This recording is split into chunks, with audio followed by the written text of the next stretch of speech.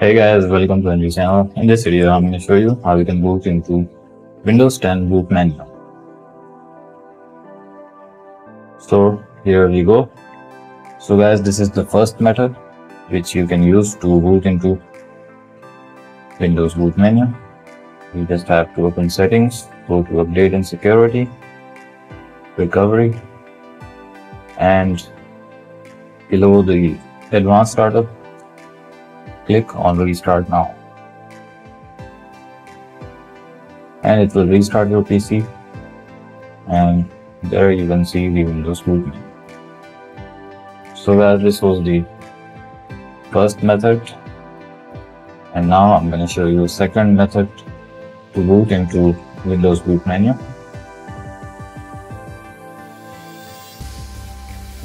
So here we go. So guys, in this method you just have to hold the shift key and just restart your PC.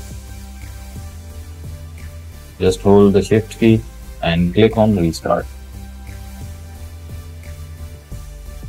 Keep holding the shift key until you see the boot menu. And guys, there you can see now our computer is in boot menu of Windows 10. From there you can change your settings that you want to change. So guys, that's all in this video. Make sure to sub the channel and leave a thumbs up. Bye for now.